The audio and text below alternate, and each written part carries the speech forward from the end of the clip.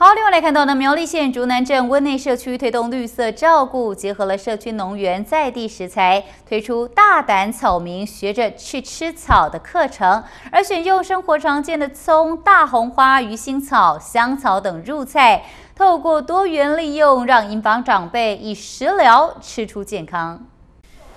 使出家常本领，长辈们快速切出葱花，家庭料理不可或缺的配料也能变成食补圣经。这堂大胆草民学着去吃草，是以实在地为设计构想，指导长辈如何吃出健康、吃得安心。长辈们的口牙不好的那个部分，可以利用这样的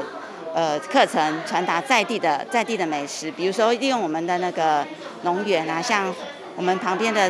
呃，农园就是菜园，可是地景里面的呃菜，像一些皇宫菜啦、葱啦，和一些呃其他的药草，我们有我们有种，将那些药草还有食材一起呃融入我们的生活当中。竹南镇温内社区建立绿色照顾网络，推出许多乐龄课程，其中也安排了长辈最喜欢的厨艺单元，将社区友善栽培的葱、大红花、鱼腥草等入菜，创新养生料理。很奇怪，怎么会有这种用法？它到底对我的身体哪个比较好用？好，然后另外两个就是用，哎，我好像菜园很多杂草都拔不完，对不对？可是杂草也是宝啊，所以也教老人家就是说，哎，怎么样重新怎么应用这个杂草的部分？对，那温内社区它很棒，还会做一个防风林的保护嘛。那森林里有什么？他们有在做森林保障，那我们就把森林保障的东西拿来跟我们的生活连接，然后他们才愿意去做。守护森林这件事情，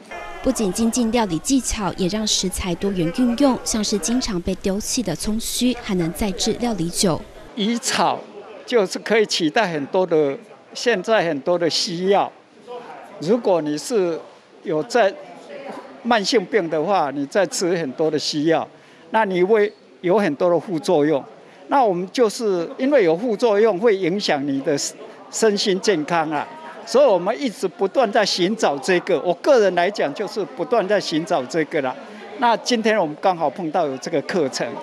我们的叶老师教我们如何用食物来取代这些药物，呃，这是我们最大的心得。大家分工合作，还有人用心做笔记，长辈们收获满满，丰富退休生活的同时，也营造高龄友善生活环境。